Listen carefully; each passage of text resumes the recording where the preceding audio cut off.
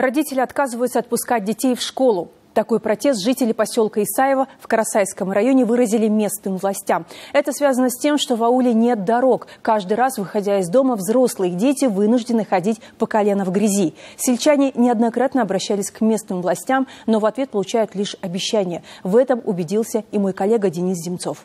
Обещанного ждут три года. Эта пословица может стать гимном села Исаева. Осенью 2017 года заместитель Акима Ельтайского сельского округа Бекжан Абжан обещал, что строительство дороги в новую школу будет начато, как только спадут холода.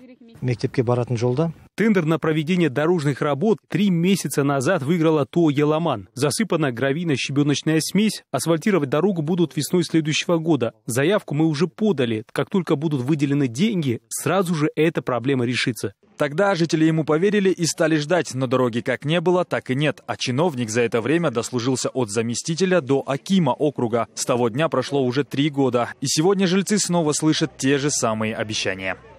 100 миллионов на жол жасалынды Сейчас деньги уже выделили. Мы ждем, когда наступит хорошая погода и откроют карьер. Тогда сразу же начнем строительство. 10 марта откроется карьер, и потом мы сразу же приступим. Во второй раз жители не были столь доверчивы и вышли на митинг близ школы. В знак протеста они запретили своим детям посещать занятия, так как дорога от дома до учебного заведения больше напоминает полосу препятствий.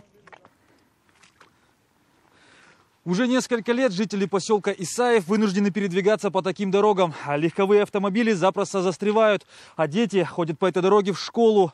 Самой популярной обувью в поселке являются резиновые сапоги либо галоши.